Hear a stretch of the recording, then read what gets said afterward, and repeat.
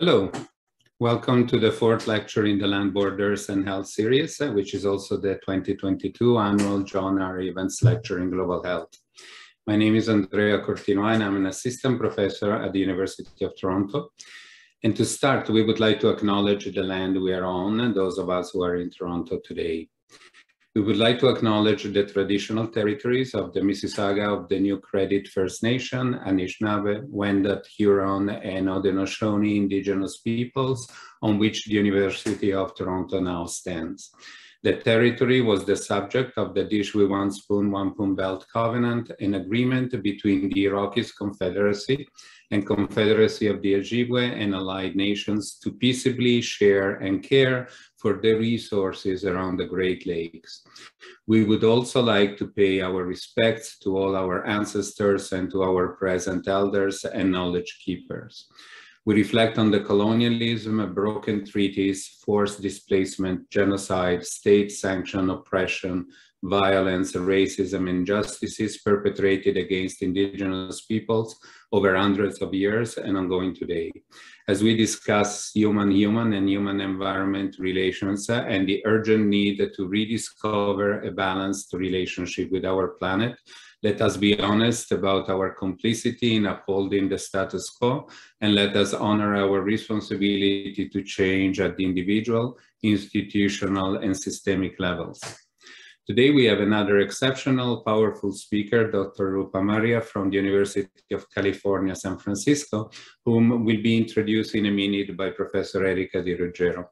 I admire and refer back often to Dr. Marya's analysis of the links between colonialism and the industrial and technological revolutions and the multiple hierarchies of violence, racial, patriarchal, and androcentric, all finalized to the exploitation of land and labor in support of the myth of infinite growth.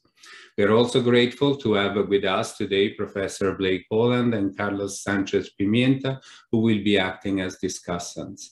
I would like to introduce our host and moderator for today, Dr. Erica Di Ruggiero, an associate professor at the Dalla Lana School of Public Health, director of the Center for Global Health, and director of the Collaborative Specialization in Global Health. One final announcement, due to Omicron, we had to reschedule Dr. Kayum Ahmed lecture on the right to health at the border between human and non-human that was originally scheduled for May 13th. The lecture has been rescheduled for Friday, June 10th at 12 p.m. EDT or, or Toronto time. To make sure you receive the Zoom link for that lecture, please go back to the Eventbrite Land Borders and Health event collection and register for the new date. All lectures in this series are recorded and the recordings will be made available through the website of the Dalla Lana School of Public Health. So again, welcome and Erica, please. Thank you so much, Andrea, for that lovely introduction and a warm welcome to our panelists and to everyone joining us um, online. So as Andrea mentioned, I'm Erica Di Ruggiero, and I'm the director of the Center for Global Health at the uh, School of Public Health, and we're delighted to co-hosts this um, series and also this particular uh, seminar with um, Andrea, who is leading the public health migration initiative at our school and across the university. So today we're actually um, uh, also hosting this seminar in the context of an annual seminar series that we run in honor of the late John R. Evans, which is a lectureship in global health. Um, and for those of you who are not familiar with this lectureship, the John R. Evans Lectureship in Global Health was first established by um, one of our former presidents at the university, Dr. David Naylor, um, when he was actually the Dean of Medicine, and then he became the, the president of the university and also as part of the former Center for International Health Research Conference, which was led by one of our colleagues, David Zakus.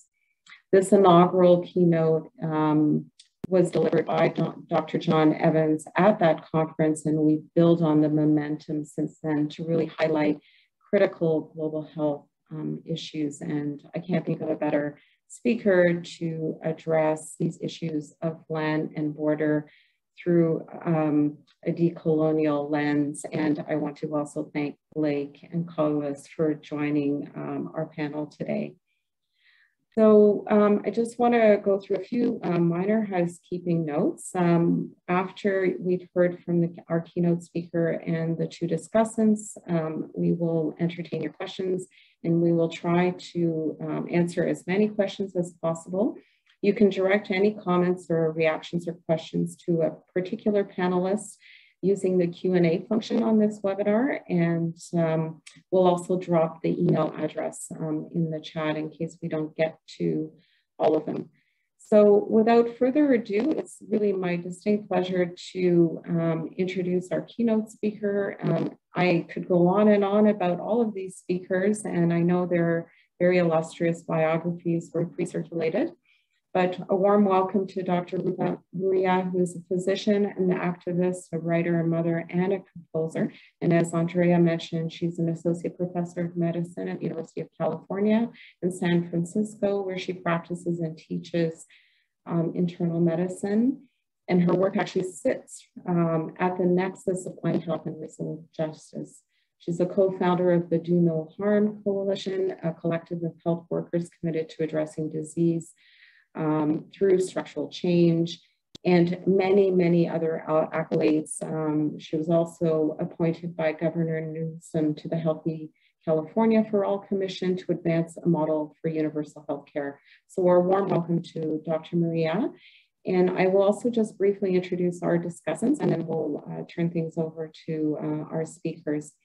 So Blake Poland, who's I'm sure well known to many of you if you're connected to the school, he is a professor and the head of the Social and Behavioral Health Sciences Division at the Lana School of Public Health, and he directs the collaborative specialization in community development and also co-chairs the national ecological determinants group on education his work really focuses on community resilience, community development as an area of work for health and social care professionals, sustainability, transitions, and social movements as agents of change. And Carlos Sanchez Pimienta is a Vanier Scholar and a PhD student at the Lana School of Public Health. And his work um, draws on post-colonial theory and indigenous ways of knowing and he's particularly interested in unsettling uh, mainstream understandings of planetary health education. So a warm welcome to this amazing panel. And so I'll turn things over to you, Rupa, to kick us off and look forward to our discussion. And thanks to you all for joining. Thank you for that wonderful welcome. Um, I'm so grateful to be here and to be a part of this uh, discussion and a part of this series, this amazing series you all have put together. Today, um, we're going to talk about deep medicine um, and the care revolution. Uh, first, I want to acknowledge where I'm speaking to you from. I was born and raised in occupied and unceded Ramaytush Ohlone territory, where I am sitting right now in the room of my, my mother's home.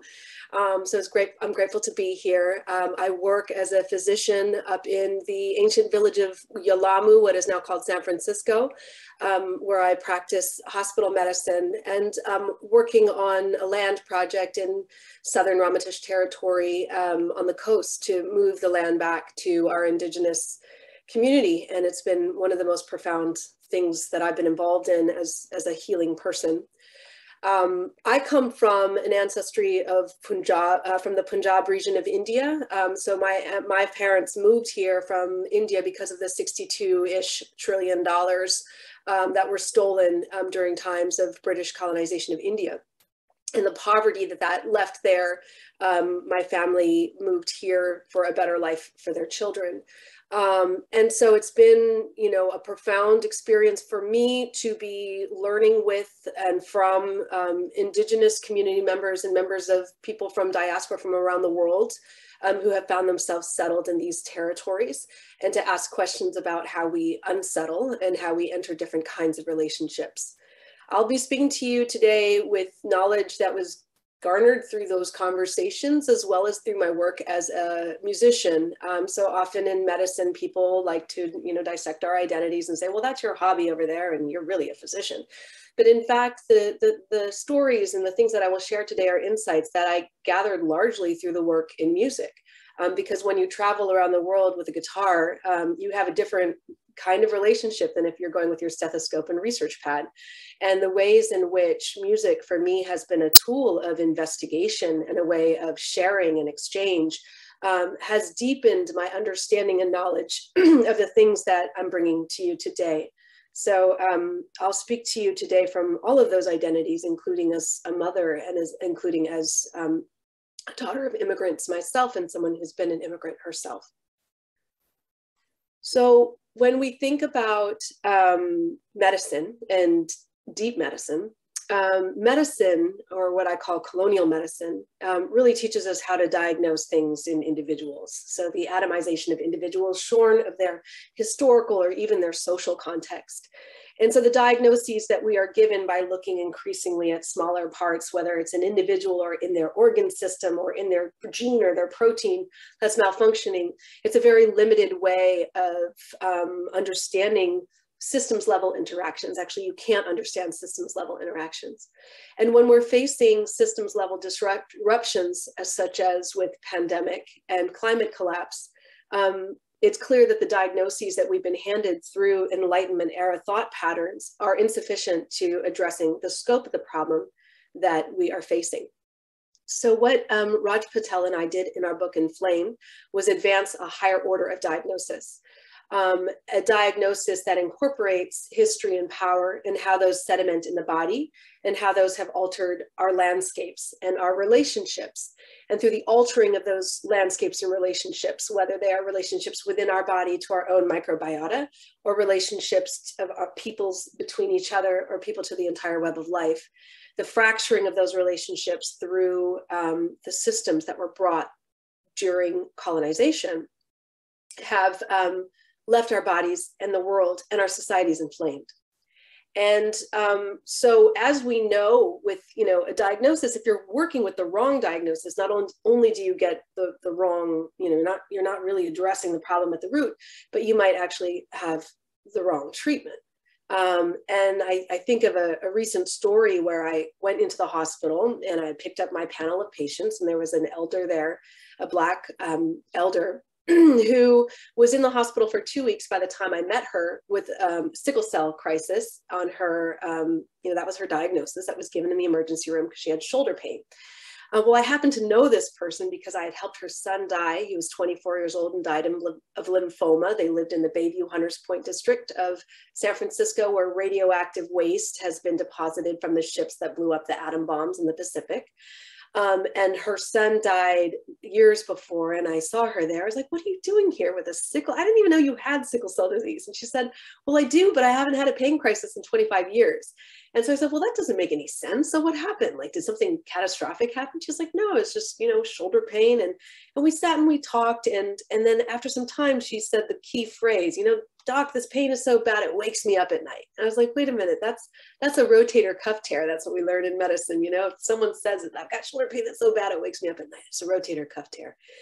Um, and in fact, so I examined her and it was a rotator cuff tear. Got an MRI. She got, you know, seen by physical therapy and a referral to sports medicine. And these are outpatient treatments. So here's this woman who was admitted for two weeks, put on IV opiates, put on IV fluids and, and oxygen, the wrong treatments for something that is an outpatient, outpatient condition. So that's why it's so critical that we have the right diagnosis. And every diagnosis, as you know, is a story told out of order. You know, the history of present illness um, starts when someone's well, goes back in time, you know, starts when something had happened, sorry, then you go back in time and go up to that moment when something changed. And the hope with a proper diagnosis is that you can remedy um, what's wrong and you know move that body back to health back back to balance and when you're talking about a story every story the time and place matter the time and place that we must look at if we're looking at the scourge of inflammatory disease which is the bulk of all diseases of modern industrialized societies as well as the um, planet that is currently on fire um, is is um, the time and place is about 600 years ago at the dawn of colonial capitalism. Now we can say, oh, well, humans have always colonized different territories, and that's true. People have moved around and settled and and fought um, and and you know conquered different territories. But never has there been such a destructive system of economics paired with that colonialism as there is with modern capitalism. So that's why we talk about colonial capitalism. And what colonial capitalism requires is axes of domination, and we just listed a few here, but there's several more, that um, sever critical relationships of humans to each other and humans to their relationships and duties to the world around them, to the web of life and the, the ecologies that support their health. And through the fracturing of those relationships, the outcome is inflammation. And while we, when we talk about this, you know, it might sound like a metaphor, um, what we realized, uh, Raj and I, as we were writing our book and researching it, was that um, this isn't simply a metaphor. This is actually a, a, this is actually what's happening inside the body. Inflammation, the inflammatory response, is an ancient evolutionarily conserved response of the innate immune system to damage or the threat of damage. So when I learned about the immune system in medical school and even in undergraduate school, um, we learned that, you know, you basically have the border of the self and then all these white blood cells are your police force surveying the borders of yourself and fending off any foreign invaders um, and destroying, you know, other and distinguishing self from non-self. Um, and that actually isn't true. And if you think about that language of the, the, the, bordering and the policing, that language and understanding came about in a time of colonization. Um, as with, you know, Western medicine was developing and the language of science has always followed the political language of its day and era. And what we really know about the immune system is that it's not so much a police bordering, because that doesn't explain why the millions of uh, microbes inside you are actually totally necessary for the turning on and off of your immune um, system's genes, for the proper development of your brain, of your endocrine system, um, so that you know self and other becomes very blurred when you think that your optimum health uh, and your proper development is actually um, dependent on all of these others that live in and on you. Um, and so what we know about the immune system, especially with inflammation, is that it's responding to damage. It's responding to the threat of damage. And that damage, um, when you think about it as a paper cut, so an acute inflammatory event, with a paper cut, those damage signals in the cells are released, they circulate in the blood, and they recruit other cells, white blood cells, and other um, mediators to come and repair that wound. And those um, cells and mediators come to the site of damage and work to repair the wound. And when the wound is repaired, the, the inflammatory signal goes quiet. Well, what happens when that damage signal or the threat of damage, which is stress, continues unabated? What happens then is those SOS signals that are being sent by our distress cells continue to go unabated. And what was once a healing response, um, when it goes un, uh, when it when it goes without ending, becomes a damaging response. So the inflammatory response becomes something that incurs more damage. And this is what we're seeing in chronic sterile inflammatory disease, which makes up the bulk again of the diseases that I treat, from cardiovascular to cancer to end stage liver and um, you know kidney failure to um, Alzheimer's dementia and even severe COVID. Um, so this is what is happening um, in our bodies. When we think about the locus of pathology in Western medicine, we see that it's it, it really has been honed in on the individual. Not only that, but it's evolved to look deeply at the individual organ or the individual gene, again, the individual protein. Um, and the locus of pathology, you know, in, in Western medicine um, was very fuzzy until about the 1800s when a French physiologist, Broussais, really advances this concept of um, medical physiology and pathophysiology by locating inflammation and pathology in a space and time in the body. And this was a real medical revolution because before that we were describing, um, you know, humors that were circulating and um, you know, miasmas, um, but this actually located that, you know, when you have inflammation in your joint, you have an arthritis, you have something actually happening there in the body. Um, and that allowed us to tailor treatments and tailor um, medical treatments to address those things in the body. Well, in the 1840s, as Europe was aflame with revolution um, from an increasingly disgruntled urban proletariat who were chafing against the exploitation of the working class in the, in, in the era of, you know, um, the beginnings of um, capitalism, a young German doctor was recognizing that, you know, it, it, it isn't simply um, just something happening in the body. It's the, the situation around the body that is priming the body's response. Um, and this concept um, was really furthered in the 2000s and the aughts with the concept of the exposome. So the exposome is um, defined as the sum of a lifetime's exposures of a person from conception to death. Um, but it actually even extends beyond that. Um, it extends to your ancestors and histories of intergenerational trauma. It extends to the structures of power around you, the way that you understand your place in the world, and even the stories you're told as a child, whether the police are there to help you or hurt you. Those things are all part of the exposome. And the exposome um, is more predictive of the development of chronic inflammatory disease than the genome. When you look at all the research dollars from the NIH in the United States, the bulk of research dollars to look at chronic inflammatory disease is going to genetic study. But all of the science is showing us that the bulk of the cause of chronic inflammatory disease is not in the genome, it's in the exposome.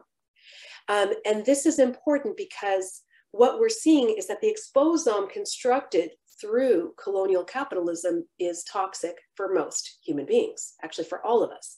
Even if you're, you know, wealthy and elite, you will be forced to somehow breathe the same air as other people on planet Earth.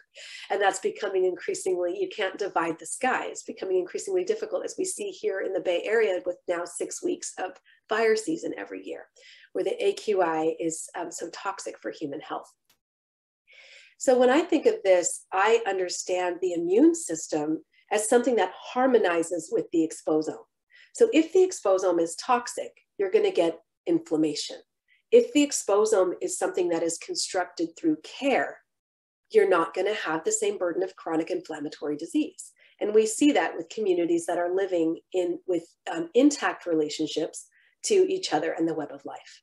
I was recently visited by Waorani indigenous activist Nemonte Nenquimo, who um, is from the Amazon in Ecuador. She um, is living amongst several uncontacted tribes in the Amazon. And COVID ripped through their communities three times. So, so a few people got tested, but everyone got sick. Um, and um, there are about 2,500 people who got sick. Of that, not one person died not one person died. All of the Waorani fatalities from mortality from um, COVID came from the communities who were living on the border towns. So the towns where the petroleum industry workers were living amongst the indigenous people, which I found really fascinating. So what is it about the exposome of our indigenous communities that is different? Um, and how does that um, protect them against the development of inflammatory disease? when we look at what's happening in our bodies, translating the socio-environmental down into the um, physiological, we see some interesting things. So in every replicating cell of the body that is not a germline cell, when those cells are exposed to the damage um, from a toxic exposome. That damage is registered in the body through oxidative stress, telomere erosion, DNA damage, um, some epigenetic changes and um, changes in mitochondrial dysfunction. Cells that replicate, that accumulate this damage over time, stop replicating and they enter a premature cell cycle arrest, premature aging through damage. Cells that enter this early senescence through damage undergo a remodeling of their genetic information and take on a phenotype called the senescence associated secretory phenotype. These SASP cells, which exist in all of our tissues where cells are replicating, become pro-inflammatory mediator factories. So they're pumping out all of these pro-inflammatory mediators, which end up creating microenvironments of the tissue of inflammation um, and um, systemic inflammation. So you can find these elevated markers of inflammation throughout the body. This is important because we're finding these SASP cells in all of these diseases. So in the blood vessels of people with atherosclerosis, in the liver cells of people with liver fibrosis. So non-alcoholic fatty liver disease, which is um, now the leading cause of liver failure in the United States, surpassing alcoholic liver disease, is an inflammatory condition. Alzheimer's, we're seeing it in the microglial cells of the brain. We're finding these cells in the pancreas in people with diabetes. We're finding it in people circulating, um, circulating um, SASP cells in people who have severe COVID. Um, so they're predisposing the body to poor outcomes. And when you look at the outcomes here in the United States from COVID, and unfortunately these disparities haven't changed, our Black and Indigenous and Latino populations have experienced the worst most severe cases of COVID. That is not simply because they have worse access to healthcare in our capitalist for profit healthcare system. It is also because their bodies have been primed or their immune systems have been tuned to this toxic exposome, not only in their lifetimes, but through their ancestral um, generations. Um, so it sets them up for failure in, um, in the event of ex experiencing something like COVID. For me, this understanding is like if a toxic exposome includes systemic racism, that racism is a form of biological warfare because it is, it is creating the body's um, self-destruction over time. we have to remember, you know, when we look at those rates, um, that, you know, even if someone gets access to healthcare, they're not going to get, you know, the best outcomes, not only because of their predispositions, but because the medical system itself is also a form of, it's also structured through colonial capitalist um, mindset. Modern medicine has always been a part of the colonial trifecta um, with missionaries, militaries, and medics um, were used to justify the conquering of other people's lands and the theft of their labor. Um, and so when we see headlines like this in the United States, it really shouldn't shock us because Black folks and um, women identified people have always been disposal, uh, disposable in colonial architectures. This is not something that can be, you know, DEI trained out of a system. This is actually baked into the system um, and requires structural change. So when we think of like how we're being taught as physicians today um, and how we're being, um, the solutions that are being posited for climate collapse, um, we have to be very skeptical of ones that are coming out of the mindset that has been really structured through the, you know, the persistent enlightenment errors. Um, so Cartesian dualism, which you know persists today in, in medicine with this you know false dichotomies of again self versus other, um, of of um, mind versus body, um, becomes very uh, very. It's a very crass way of looking at things when we see where even the science is taking us that these systems that we've developed to understand anatomy even the immune system the endocrine system even the gut um, and distinguishing it somehow from the immune system or the nervous system these systems are not distinct. These systems are much more um, fluid um, and and it's important to understand how our limitations that have been put forth through these enlightenment ideas that persist um, limit us to seeing the actual um, science today in its full capacity, as well as um, solutions. And so I think any concepts of progress that are coming out of colonial capitalist ideas must be looked at um, with skepticism. Um, and I think about this concept of progress, which continues um, to, you know, persist in our and our understandings um, of you know both in terms of global development or um, you know our own ways of addressing climate change. And i have to think of um, the example of the transcontinental railroad um, which is often lauded as like the great the great thing of the industrial revolution. Look we have this railroad. Um, and um, the transcontinental railroad you know required the um, you know, the decimation and um, slaughter of, you know, I think the largest genocide of mammals in the in human history, which was the, the, the killing slaughter of the buffalo, which was used also as a genocidal tactic against the plains people, the tribes of the plains, um, and a way to clear the land for the railroad and for colonization. When you look at the historic range of the buffalo, which is in the light pink, and then you look at the um, you know range of the plains people who are really following the buffalo and um, in deep relationship with the buffalo. And then you look at the outline here of the prairie grasslands. So the tall, short, um, and medium prairie grasslands, you see a very sophisticated kind of relationship that existed for tens of thousands of years.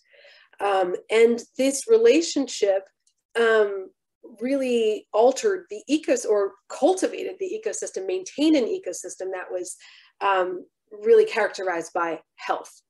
And the, the prairie grasslands, if you look at the different, the depths of the roots of the prairie grasses, which hardly exist anymore, the native prairie grasses root systems go down, down at least like 20 or 30 feet deep as far as that.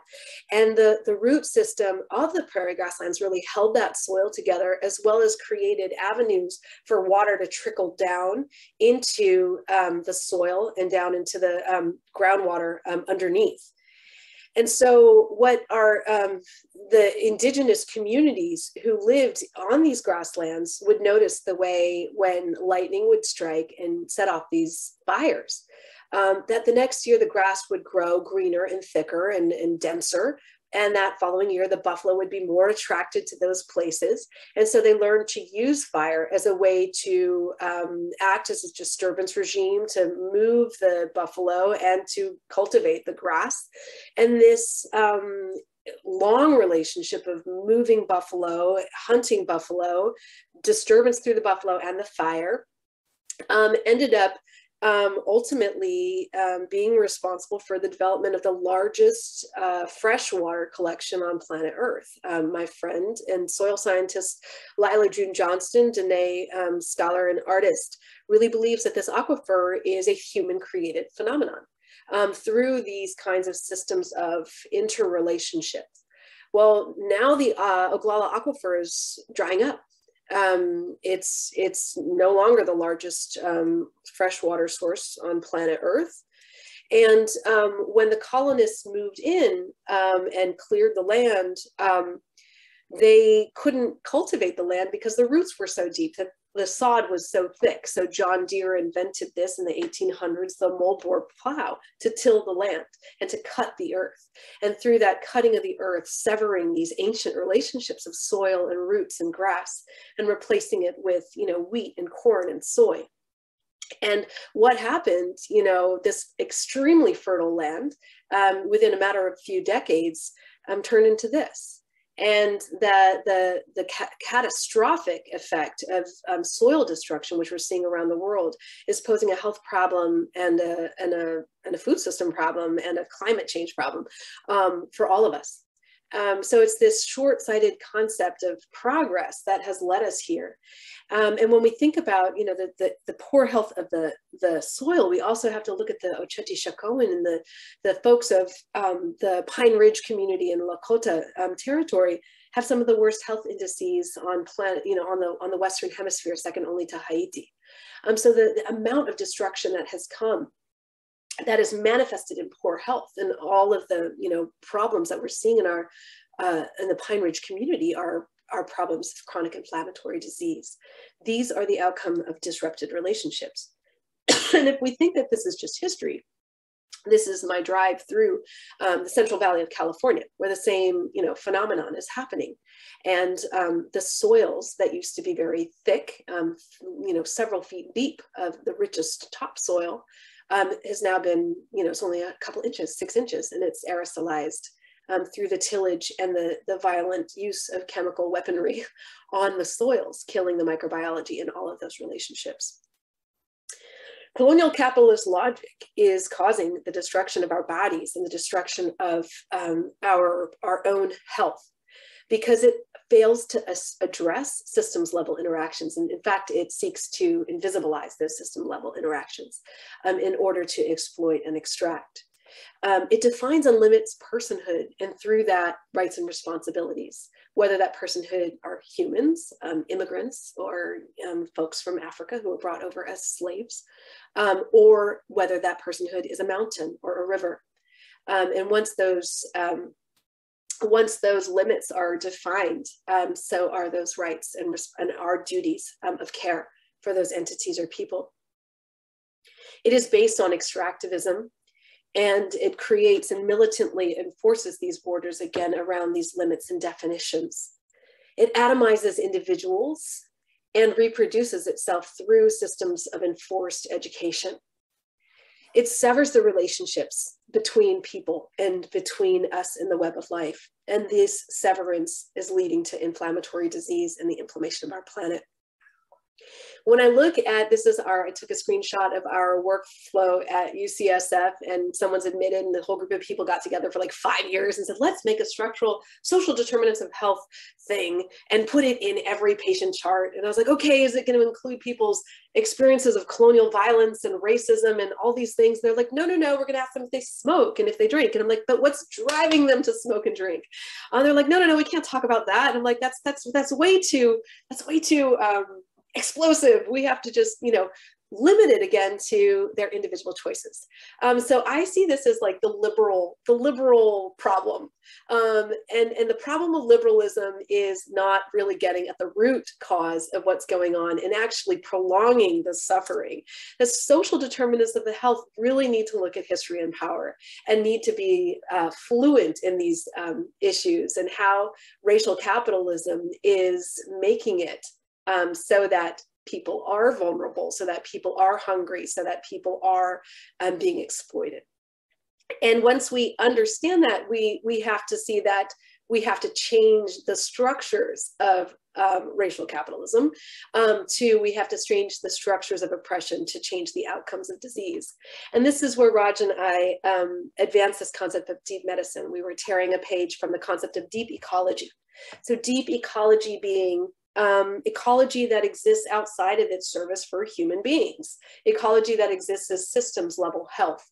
Um, deep medicine is medicine that exists outside of the obsession with the individual, but looks at whole systems. So if you can find systems that harmonize well together, health becomes an emergent phenomenon.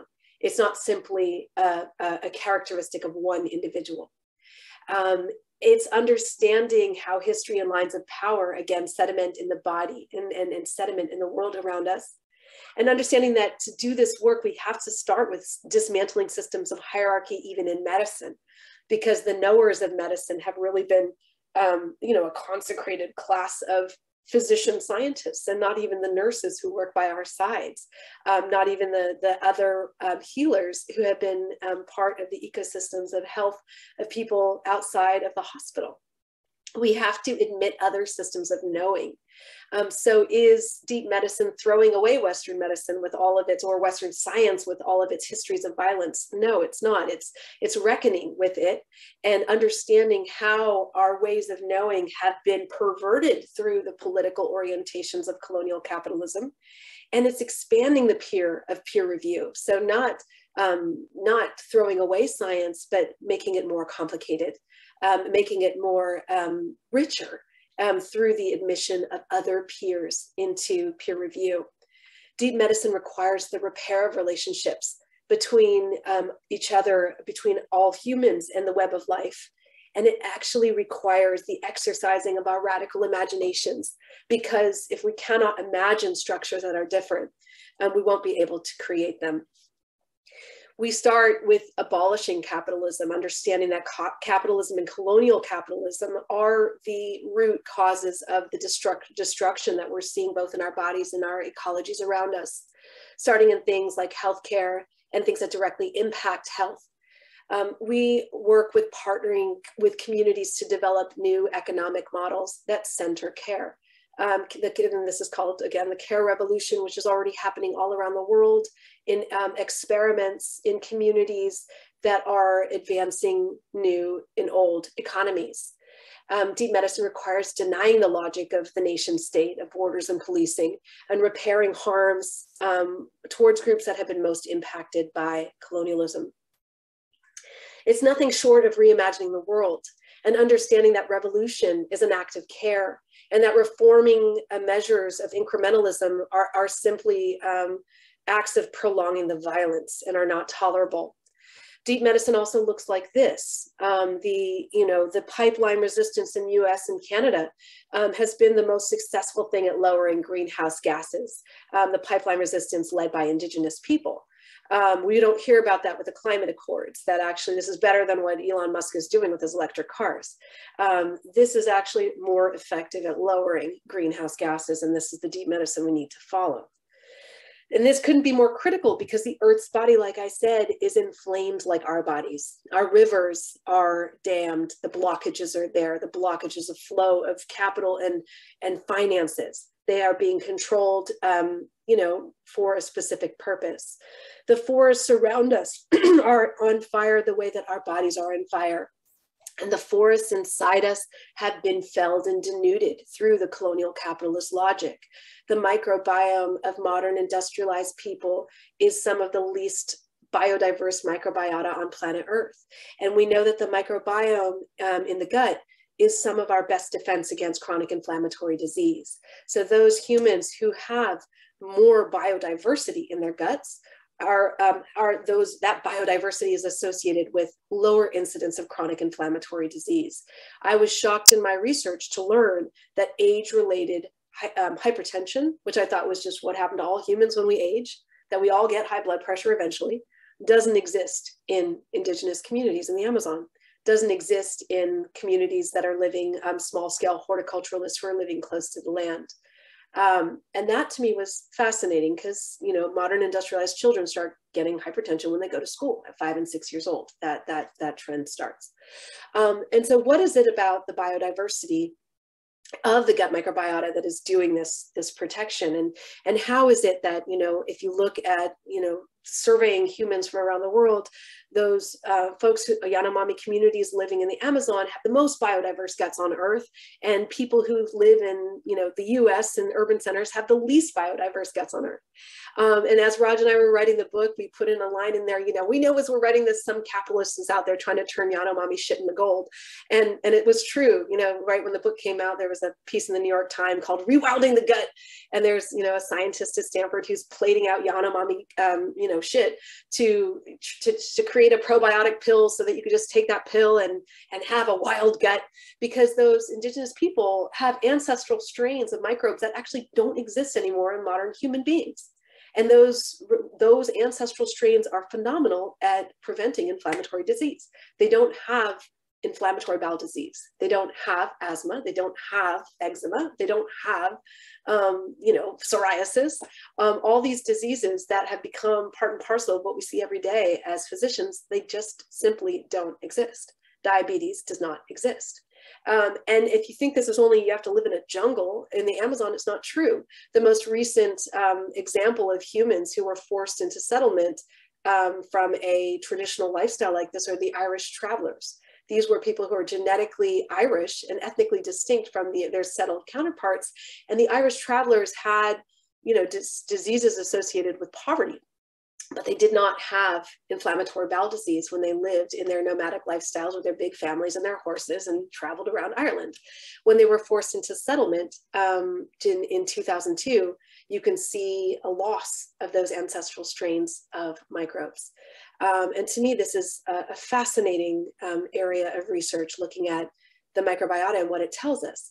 And so if you think you could pop a pill to you know, get those microbes back, it's not true because those, those microbes won't stay. Those microbes stay in the guts of folks who live in reciprocity with the web of life because of those relationships. The microbiome is a living portrait of those relationships, and we see that those relationships are severed and gone in modern industrialized humans. Indigenous communities living in relationship to the web of life around them not only steward the best um, or most robust biodiversity inside their bodies, but they also steward the greatest biodiversity outside their bodies.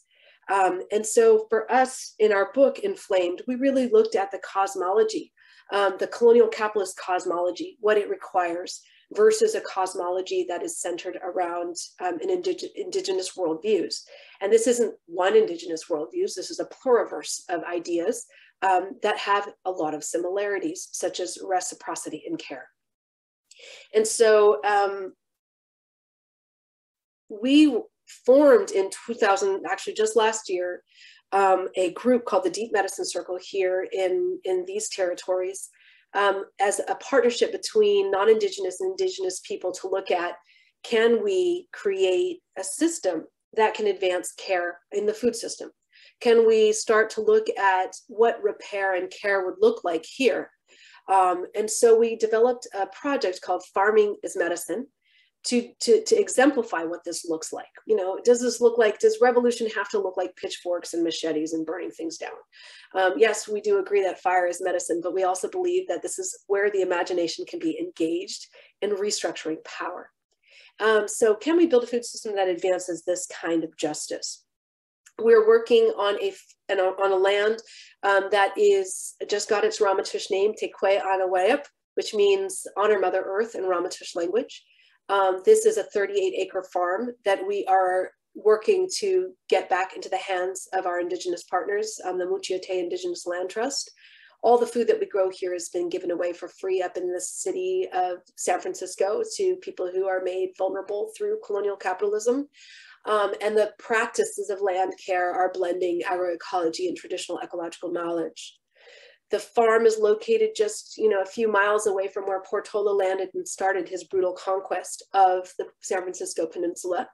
Um, and is in a beautiful watershed, the San Gregorio watershed, um, where the indigenous elders are seeking to bring back the beaver, the salmon, and the tule elk. Um, and, and just a, a beautiful restoration work. We also work along this urban rural corridor. So this is a one acre rooftop farm. We are also stewarding called the Rooftop Medicine Farm. That's Elena Reed. She's our farm director. She is Jamaican, Cherokee, and Choctaw, just wonderful farmer. Um, and all the food that we grow here is liberated from the market economy to go to um, organizations who work on um, food justice. So from Poor Magazine, who are formerly unhoused people building their own housing, poor people led solutions to um, poverty to Moms for Housing, Black mothers who occupied unoccupied houses in Oakland um, for the purpose of housing humans. Um, and um, this has been some really beautiful work. So for us, we were looking at how the food system is structured today. You know, it's based on stolen land. It's based on the, these capitalist principles of extraction and damage um, that lead to um, damage of the soil. The food is less nutrient dense. Um, there's damage of the people from the exploitation of farm workers to the erasure of indi indigenous people on their lands. And profit and the, the value leaves the system to very few people's hands. And we get a lot of you know, bad outcomes for everybody else. Well, this is what we call farming as medicine. Um, so we start with getting land back. We reframe farmers as health stewards, not only of growing nutrient dense food, but also through stewarding the soil and the water. We farm under indigenous sovereignty. So all our farming is done together. Um, it's not just regenerative agriculture. It is, it is replacing um, and rehydrating ancient relationships of care um, our soil becomes more biodiverse. We live in drought places, and with that biodiversity of soil, you get better water retention, you get a spongy effect to the soil, you get greater CO2 sequestration of the soil. We don't have the pollution because we're not putting crap in our soil. Our food is more nutrient dense, and we are climate adapting our seeds right now um, to be prepared for drought. Um, and the food that we give to our community is probiotic food and is prebiotic food, is what food used to be, which is medicine. Um, we give our food away for free, so we're decommodifying our food. What we're seeing is increased health of our indigenous people. Our farmers are healthier. They're, they make area median income um, wages. Um, they get health care. Um, and the people who eat the food are healthy um, we're also looking at these dynamics between um, these systems, the soil systems, the plant systems, the human systems, to see how through care um, we get uh, different kinds of outcomes. So farming as medicine is based on four principles, and this is really about reimagining power. Um, starts with getting land back. And so that, that is, you know, the work that we are doing with our indigenous communities. We reframe farmers as stewards of health and are trying to mobilize funding from the health sector um, into paying farmers excellent wages as the stewards of our health, not just through how they grow the food, but how they take care of the soil and the land. All the food we grow is decommodified. Um, so the food is given away and, and understanding that, you know, human beings have been in relationships to our food for hundreds of thousands of years. You know, somebody made those seeds go through the ice age kept them alive. Um, those are part of our human um, cultural resource um, and should not be should not be um, enslaved through a system that coerces the you know the obedience of the poor and the labor of the working class. So we decommodify food and, and reassert food as medicine. Um, so this is just what I will leave you with. Systems that were created to uphold the architecture of domination cannot simply be tweaked to become vessels of equity. And that is, you know, the take home point I hope that you are left with, um, that, you know, this is a, an urgent time for revolutionary thought and action. Thank you so much.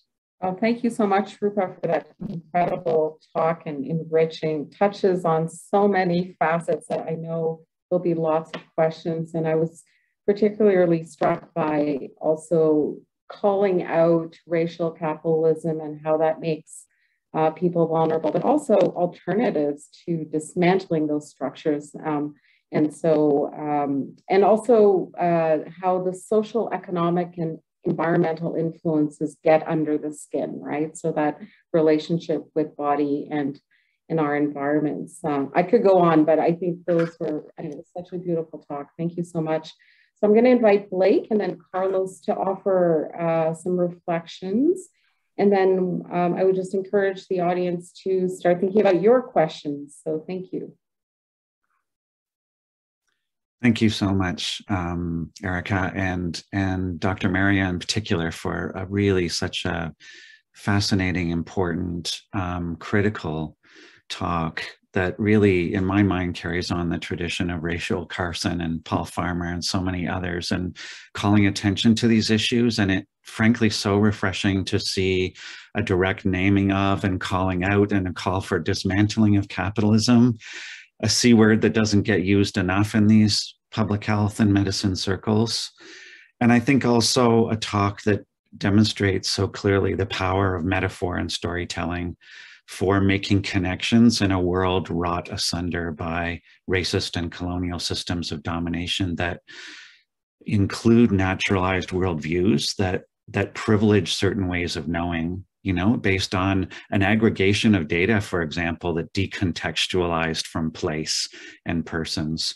And um, that is based on a on a on an impulse to take apart which has had many advantages, but has left us with uh, ways of seeing ourselves and the world that are deeply problematic in so many of the ways that you brilliantly illustrate here and in your book. And um, and to me, it, it, makes clear that um, colonize, coloniz, colonization is really an ongoing war for the hearts and minds and wallets of those with the power to affect change. Um, and it's neutralizing and channeling and dissipating and otherwise diffusing the potential for more radical change that would threaten vested interests. And I think we need to also be honest about what those vested interests are. There's a there's an outing that needs to happen, and I know that's also invested in systems and so on. But um, uh, sociologist Graham Scambler talks about um, what he calls a greedy bastards hypothesis as a as a more um, trenchant kind of analysis of the the relations of power that operate to keep these systems in place. I also want to underscore the brilliance of inflammation as an analytic pathway for understanding the deeply interconnected nature of human and ecosystem health. And what we're understanding also about the microbiome, which you pointed out um, later in your talk, as a reflection of the world around us and the, the seamless interconnection, and that this isn't just about popping probiotics. Um, and let's not even talk about the proliferation of use of antimicrobials during COVID and all of the impact on that, right? And what we're seeing in terms of drug resistant infections and so on. I think this is also a really important corrective to the collective colonial pathology of intentionally siloed disconnection and individualization. I was hit by that even this morning listening to CBC radio as I was making my breakfast report on climate change. And then a few breaths later, have an extended story about the problems in airports and how we need to get better at moving people back into an economy of air travel and so on, and normalizing that as if the two stories were completely disconnected. No comment on how we need to be thinking about these in the same breath and how maybe we need to actually be halting any further investment in airport expansion or, and denormalizing air travel.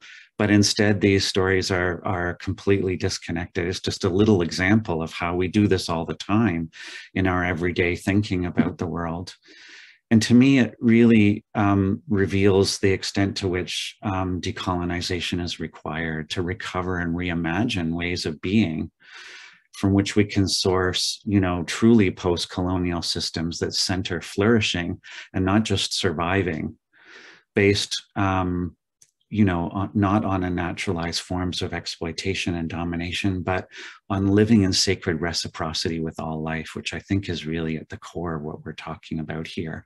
And a shift from a transactional worldview, which has been the Western mind way um, to a, a, a, much more deeply relational worldview. And the ways in which you show those connections from the microbiome and the exposome right up to the systems of racial colonization um, that are inevitably embodied in all of us, I think is, is really such a, a beautiful way of drawing attention to that, that need for a much more relational worldview and to me i also i think a reminder that relationship and resilience are the natural order of things.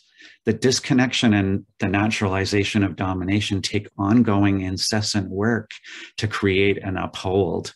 We tend to think we have to work at reconnecting at rehumanizing at re you know um, emphasizing relationship. But in fact those are the natural order of things and um, the book that came out a few years ago on, called Humankind, I think was a lovely example of how our very notions of human nature have been twisted, sometimes based on falsified evidence in the research that led to this notion that competition and domination are somehow inherently human nature characteristics rather than ones that have been incessantly supported and normalized through existing systems. And I think that invites a very different way of working when we see that, in fact, relationship and resilience are, are natural, that they're, that they're what we can default to when we stop incessantly interfering with, with natural systems and with um, human collectivities. And I think uh, the other piece uh, that I wanted to emphasize here is the ways in which uh, colonization is both individual and collective work and decolonization in particular. Sorry, this is what I meant to say. And, and how important social movements are as key agents of change.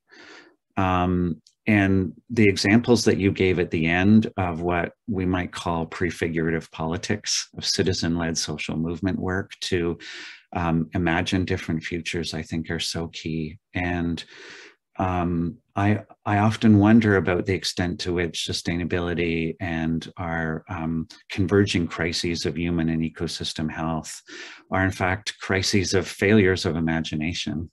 And I'm really struck by Jameson's quote, um, or a quote that's attributed to Fredric Jameson, that we can more easily imagine the end of the world than the end of capitalism.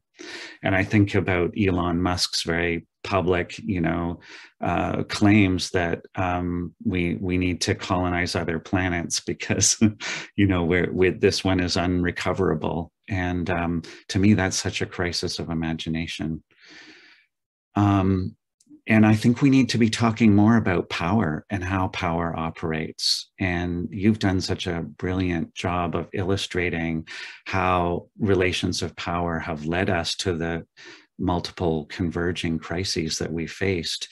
And I think we need to also be um, teaching about this and talking about how power operates to block change and how um, the familiar patterns of denying that there are problems, uh, pitting activists and movements against each other, right through to co opting activists into processes of royal commissions that take five years to deliberate, whose recommendations are mostly ignored, and piecemeal reform without adequate enforcement that take another five or 10 years because they threaten certain vested interests, that already that tail end of the process alone has bought another 10 years of business as usual. We need to be talking about these things. We don't have any courses in our public health programs that address these things because this is what we need to grapple grapple with when we think about how to make change. and I think I've gone over time. There were other things I wanted to say, but thank you so much for this opportunity and for the brilliance of your work. Yeah, thanks so much, Blake. Um, I'm going to turn to Carlos next to offer some reflections. And um, there's some questions coming in, but I invite participants to keep thinking about your questions. I feel very, very honored to be here with you to talk alongside Dr. Rupa Marya and Dr. Blake Poland. In the past presentations, we have heard about the importance of care, stories, metaphors, borders, capitalism, and colonialism for helping us understand health in a global context and supporting us in imagining alternative solutions to the multiple crises we are facing. In my response, I want to connect these ideas with a story and two sayings I heard from Enrique Enciso, one of the founders of Un Salto de Vida, or A Leap of Life, a grassroots environmental collective in El Salto, Mexico, just south of where I used to live in Guadalajara. I believe this story and sayings contain valuable teachings for me and others in global health research. The story goes like this. The year is 2005. In the town of El Salto, people can tell the direction of the wind just by, playing, just by paying attention to their sense of smell. This is no magic. After, after years of being surrounded by different sources of pollution, people in El Salto can easily recognize their, their unique smells. If there is an acidic smell, the wind is blowing from the north. This smell comes from a landfill and the juices of the trash, also known as leachate. If the smell is that of rotten eggs, the wind is coming from the south.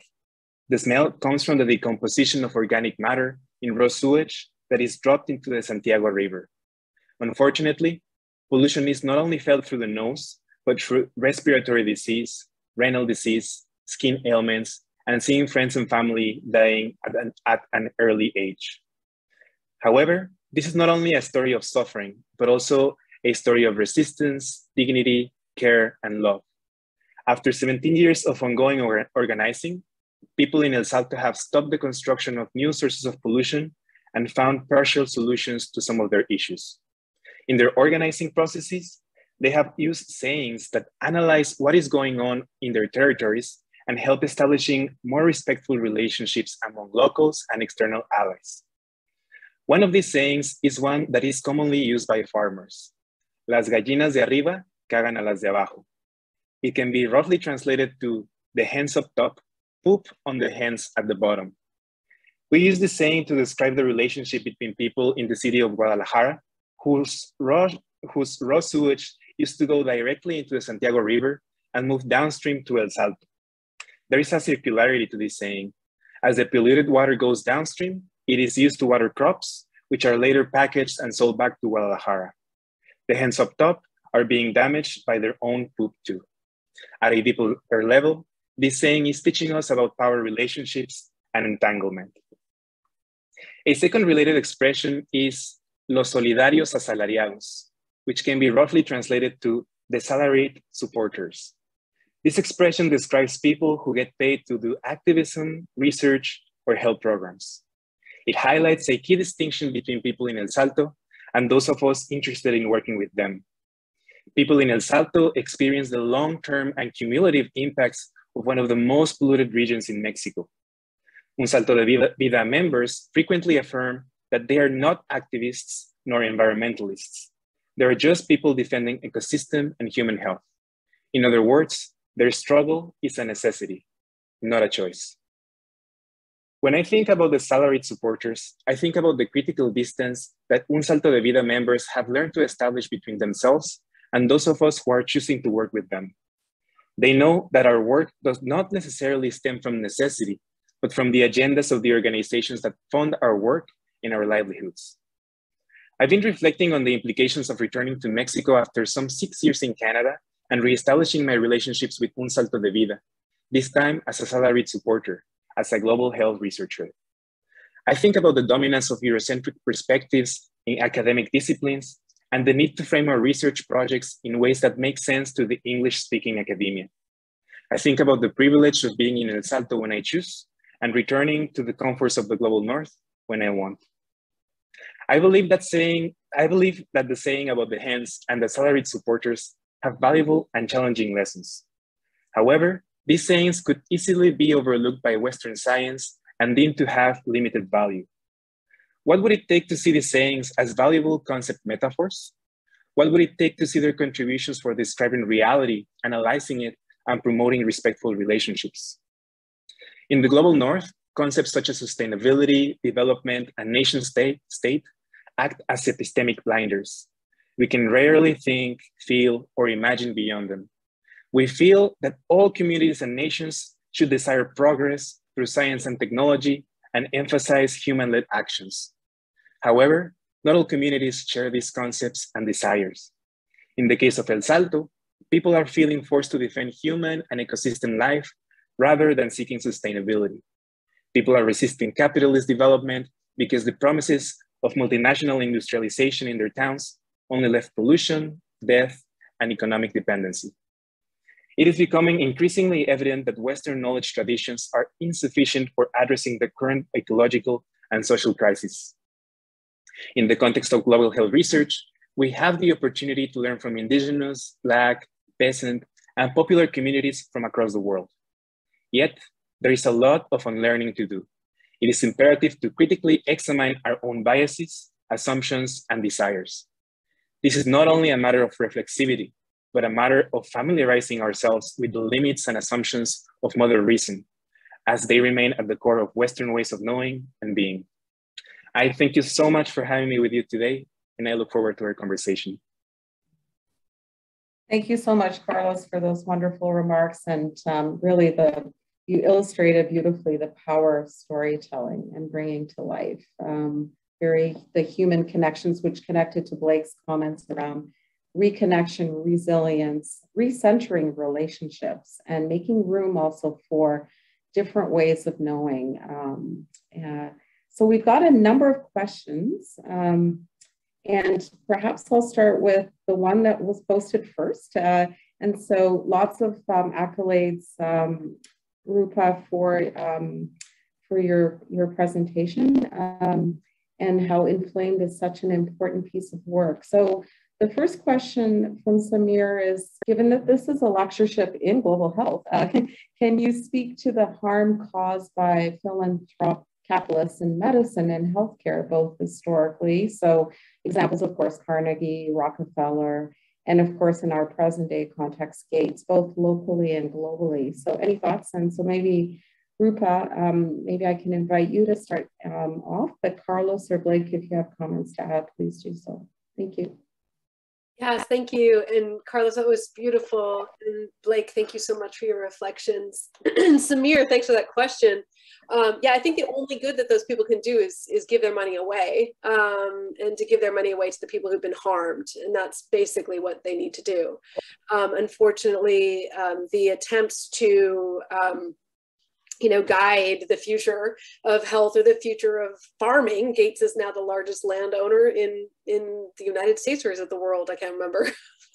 He's buying up farms, um, which is you know ridiculous. Um, so you know, I, I, don't I don't think that, that the only value of these uh, philanthropists is to give away their money. Um, specifically, starting with you, you could start with you know reparations to indigenous communities.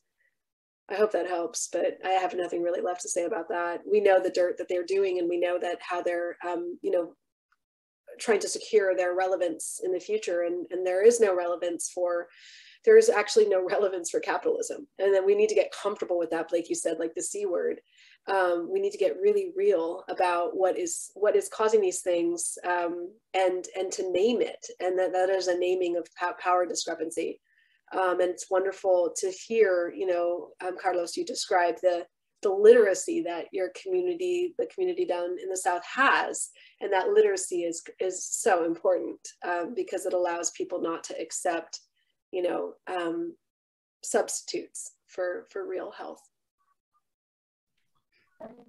Just to yeah, just to just to build on that, I'm struck by you know the notion of indulgences, the, the way in which philanthrocapitalism kind of secures its own indulgences or renders magnanimous those who profit mightily from the systems that they then, you know, propose to fund technical solutions to, while at the same time securing the narrow uh, framing of the issues in terms of what is, frankly, the dominant modus operandi in public health, which is risk management.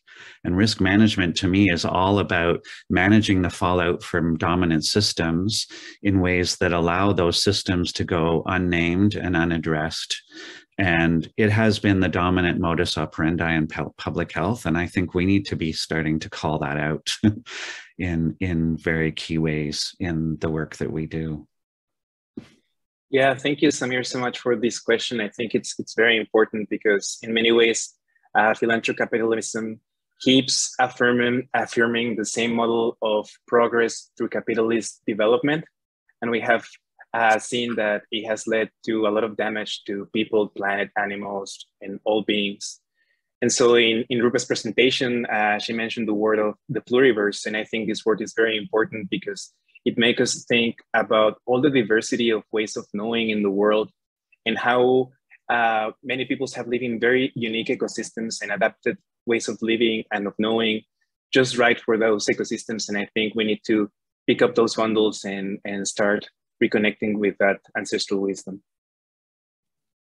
Yeah, and if I can just add, I think beyond the financial power they wield, they wield a lot of epistemic power and because they privilege certain kinds of knowledge um, by virtue of their agenda setting power and where they sit at various tables. So well, um, I would think can I can I just yeah. add to that because I've been in a conversation with some folks at the Rockefeller Foundation because they're very interested in our work with the Deep Medicine Circle, mm-hmm. um, and their food system people have said, you know, this is the most holistic uh, food system change model we've ever seen, and you know, would you be interested in being part of a project where your community would sit down in the same room as you know the WalMarts and the Nature Conservancy visions of regenerative agriculture?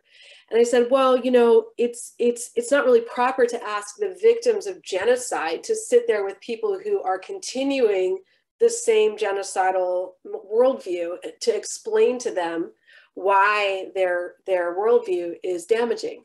And that really gets to again this cosmology. Um, these are competing. They are they can't exist in the same space um, because one cosmology is centering care and the other is sundering care um, and and those those things need to be you know it is time for us to to sit and go which one is going to predominate here on planet earth? How are we going to move forward on a planet that's on fire with with that?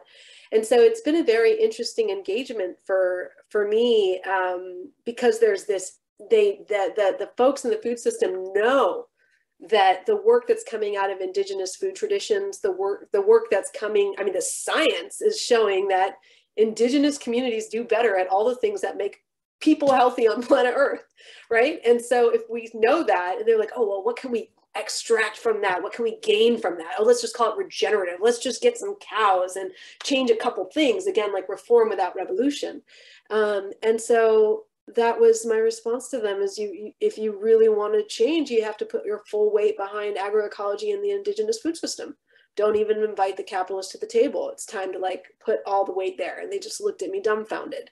Um, but that's like, those are the conversations that really need to happen. And it's, I, I'm, I'm fine to engage with it if it will make them loosen their grip on their money to put the, you know, get rid of the chokehold to, to take that stolen money and put it back in the hands of people who've been most damaged um, so that people can start to move um, and change their own material realities.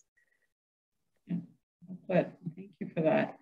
Um, I'm going to just go to the next question, if I may. So Nicole is asking about this concept of One Health that, that's been proposed as a holistic approach to considering health and how it relates to the environment, which seems to mirror Indigenous teachings more than Western medicine. However, there have been criticisms of this One Health approach, um, that it was actually really birthed from a Western point of view and often fails to use Indigenous teachings in, in their solutions. So given your expertise and experiences, what are some ways that we can ensure the One Health approach or similar holistic approaches are not steamrolled by this colonial capitalist mindset? Um, maybe I can start with Carlos first or Blake, unless you're chopping off the bit, Rupa, and you wanted to comment. That's really fine. Sure, uh, yes. In the last year, I have been learning a lot from uh, indigenous and critical scholars who have been reflecting about uh, what can be the conditions for sharing knowledge in a respectful way across different knowledge systems.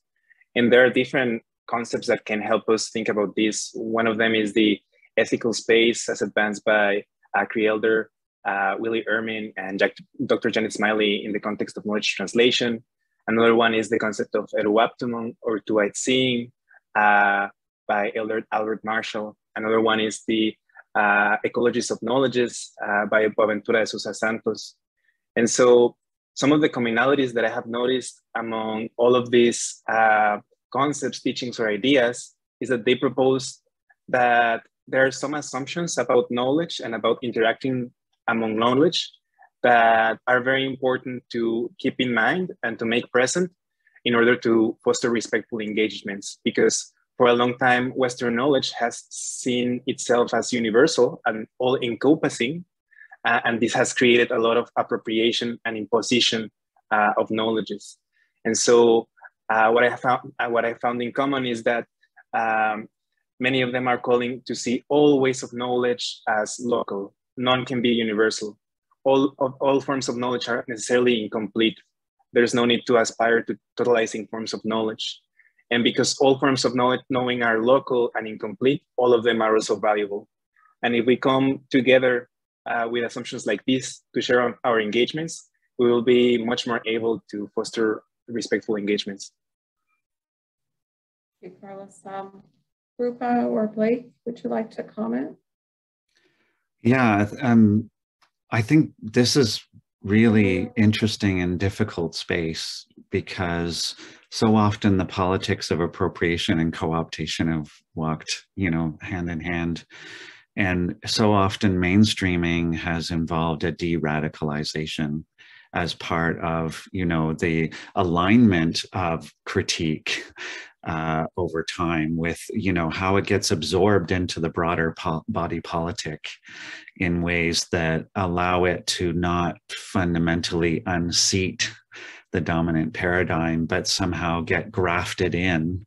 And in the process lose a lot of the their radical edge and i think also um, um, contribute to the co-optation and burnout of a lot of activists who initially are very excited about fertile ground for their ideas, but as that process unfolds, uh, rapidly discover that the, the, the taking, and it is always a taking, is very selective and very much reframed in terms of the dominant paradigm. So uh, it's it's work that I think needs to happen, and at the same time is deeply problematic and fraught with pitfalls. I think of it similarly to regenerative agriculture. So we're talking regenerative agriculture without regenerating the relationships that made the land healthy, which is it was under indigenous sovereignty. It's native people's land here in this area. Um, and so naming the ideas without naming the context of power so when I look at the One Health stuff, I don't see any naming of capitalism. I don't see any naming of land theft, of labor theft, of coercion. I don't see any of that. So um, it's taking the idea without the root. Um, and so it's going to be inherently flawed. Um, again, a reformist thing. This is like the performative anti-racist gestures we're seeing throughout medicine right now where the you know C-suite remains intact. It's mostly white men. Um, the low wage labor is mostly brown and black people. Um, and so those axes of power haven't changed, but now we have more performances and more more words to feel better. Um, so I think that it's it's critical in those spaces to constantly bring it back to um, the the power, uh, the power dynamics of racial capitalism. Um, and I don't see that in that language, so I don't really take it very seriously. Yeah, I think it's a great point how frames can actually render invisible the systems of power and oppression. And as critical scholars, our responsibility is to rend them and continually to rend them visible and call them out um, and call for dismantling of those structures. Thank you. Um, the next question um, is from Kamori. Really enjoyed reading Inflamed. Is it also possible that the reimagining of a world beyond the colonial capitalist cosmology promotes the unlearning of generational learned helplessness generational poverty, consciousness, and ultimately inequality. Maybe Rupa, I can start um, start with you. Yes. That's a big question. Yes. Uh, well, well, obviously, and I think you're seeing it already in communities um, and in moments of movement work um, where people are coming together and doing things like Carlos described like, through organizing, um, through organizing and understanding that our material realities can be changed through our collective work. It actually can't happen as individuals. We can't unlearn this helplessness on our own. It's not our own fault. It's a, it's again a systems level um, phenomenon, and so that can be addressed through our collective collective work. Um, and what's been beautiful is looking at the collectives, the network and nodes of these collectives around the world, whether it's the Zapatista communities in um, Mexico or the you know autonomous communities in Exarchia, Greece, or the work down in you know the Tekra slums in Ahmedabad, India. Like there's all these different groups around the world who are unlearning this helplessness, mm-hmm. who who are creating systems of mutual aid, who are um, creating again care-based economies. Um, so, and I think it doesn't happen if you, you know, keep putting your kids in the same school system and keep believing, you know, they have to be educated or participate in the same institutions. I think it must happen through dual power. It must happen through creating alternate institutions and alternate universities and alternate um, medical schools and places where we have deep medicine schools and that you can't expect to keep going to the same systems where you're being brainwashed and, and hope to have a different outcome. Um, so that's why it's it's necessary while we're in these institutions to maintain our skepticism and to maintain our critical um, voices and to you know bring people along with us and keep building on the outside with communities who are already doing this work and in, in service of their leadership. Thank you. Uh, Blake, Carlos, anything to add? I, I just think um, I really enjoy both the question and and uh, Rupa's response, and at the same time, I I find myself quite compelled by the work of UBC's Vanessa Andreotti, who reminds us that even our unlearning work is so shot through with the fundamentals of modernity that it it it remains a project that can never be pure in any real sense. The unlearning is always partial and always contextual and um, and modernism shows its face in so many aspects of sustainability and health work um, in terms of the the deep and often hidden assumptions that that drive this work. And that's not to throw all of it out as being therefore corrupt and and you know we'll just throw up our hands and wait for the collapse but but rather just to bring a certain humility to the whole project that this is deeply problematic work, that we are all, you know, impacted by racist colonization, despite our you know the extensive white privilege that some of us have. And um, and that this will be uh, the work of lifetimes and uh, and very urgent at the same time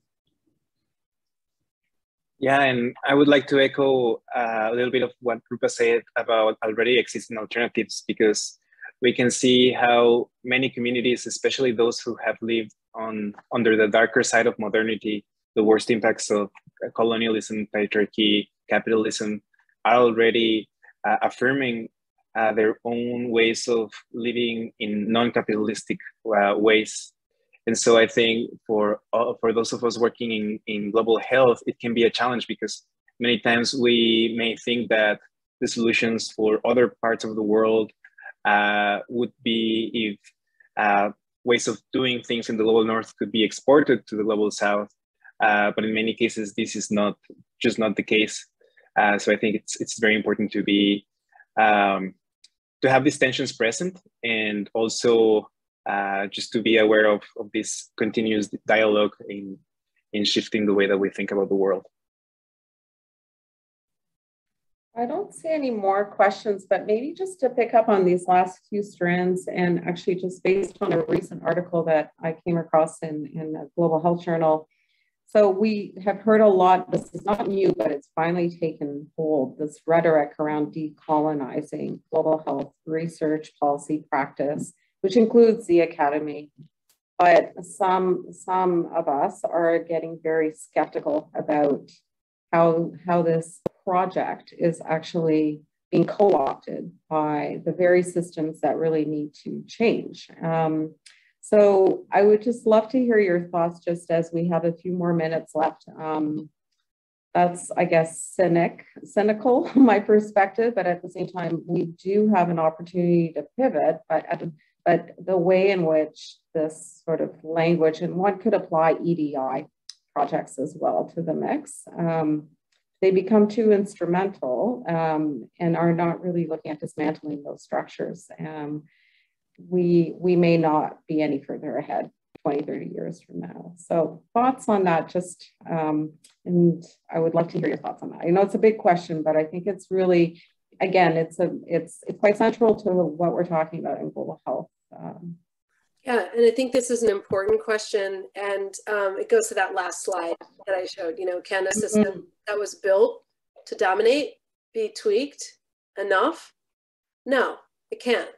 Can a hospital, a colonial capitalist hospital, be decolonized? No, can't. And when I'm in there, should I mitigate harm as much as I can with my colleagues? Yes, I should. Should I, you know, throw my life at trying to decolonize this extremely racist, violent space? No.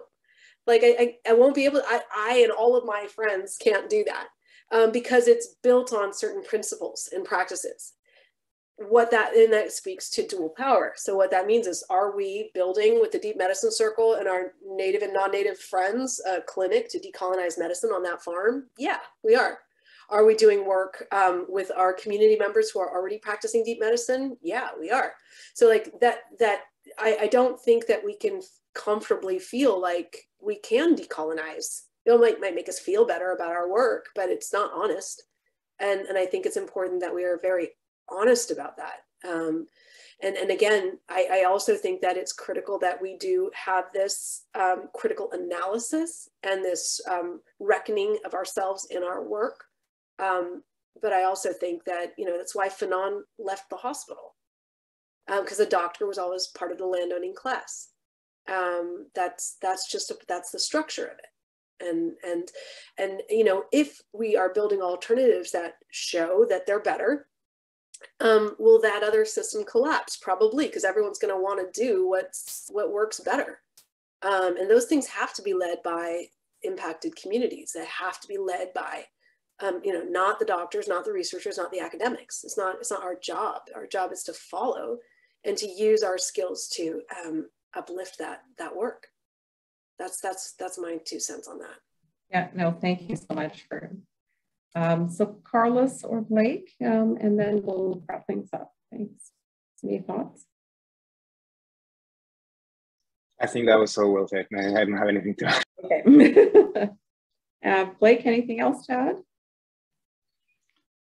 No, I, I just think, you know, these these things are fraught and problematic, and yet we can't avoid um, engaging and we bring the critical analysis and our best attempt to work with um, affected communities and to center other ways of knowing in the traditions of the, the kind of epistemic justice that Carlos was talking about.